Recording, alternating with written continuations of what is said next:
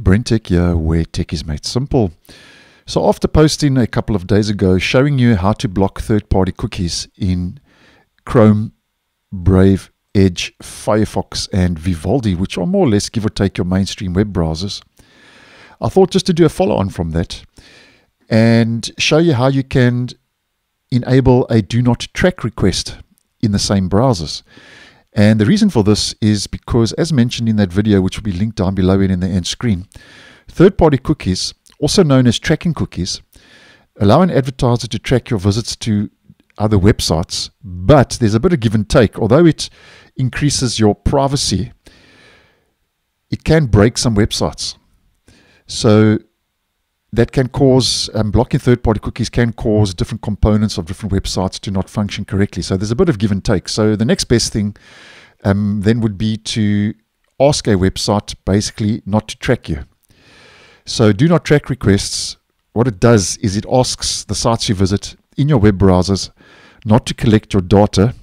And then obviously it's up to the site if they um, want to do that or not. So if they obey this request or not. So there's a bit of give and take once again, but this is another option and that you can try out. Now, how we do this is starting off with Google Chrome in no particular order, just as they are kind of on my taskbar. How we enable a do not track request is we head up to our main menu, settings, head over to privacy and security, click on third party cookies, and if you scroll down yeah, you'll see send a do not track request with your browsing traffic.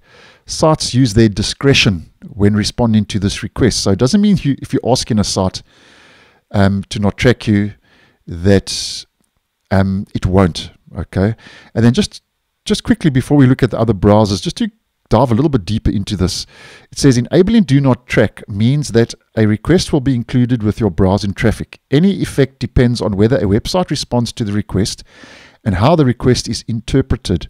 For example, some websites may respond to this request by showing you ads that aren't based on other websites you've visited. Many websites will still collect and use your browsing data, for example, to improve security, to provide content services, ads, and recommendations on their websites, and to generate reporting statistics. Now, that's according to Google when you enable Do Not Track. So it's not foolproof, but it is a kind of plan B if you don't want to be tracked and obviously you want your websites in most cases to function correctly. So that's how you enable a do not track request in Google Chrome. Now moving on to Brave, very similar process. Once again, we head up to our main menu, settings, privacy and security. And here we just scroll down until you see send a do not track request. You can toggle that on. The same applies.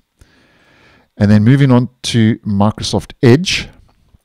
Once again, head up to our three dotted main menu, head to settings, privacy search and services, and here we're going to scroll down to where we see privacy and send do not track requests. There we go, we can toggle the feature on.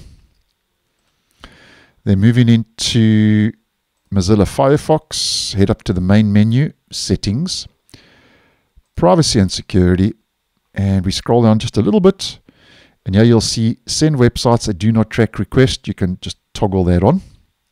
So that's Firefox. And last but not least Vivaldi. And for this we head up to our main menu again settings privacy and security. And right here at the top tracking prevention. Ask websites not to track me.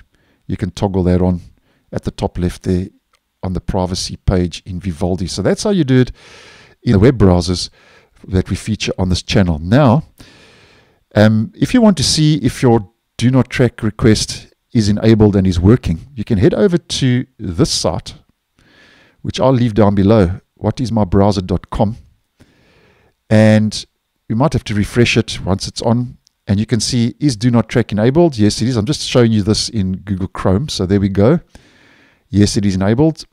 And obviously, if I pop that off, and we refresh the site, it should say no. So there we go. So this is a nice website just to check it out if you want to double check that do not track is actually enabled or not. So that's how you can enable do not track requests in Chrome, Brave, Edge, Firefox, and Vivaldi in case you would be interested. So thanks for watching, and I'll see you guys in the next one.